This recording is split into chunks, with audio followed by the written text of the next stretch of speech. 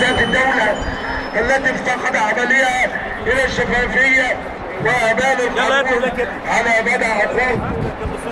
وفي هذا الإطار